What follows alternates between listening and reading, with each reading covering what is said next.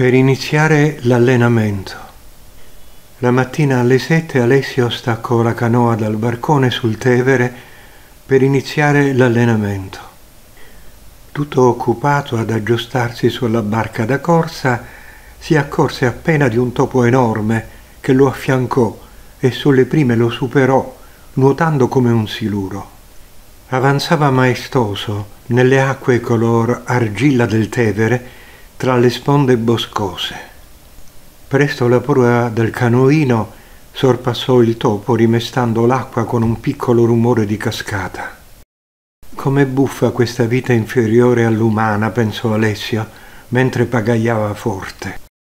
I baffi del topo attraversarono il fiume e si diressero verso la riva opposta, dove si ammassava una famiglia rom con le masserizie e gli animali da cortile.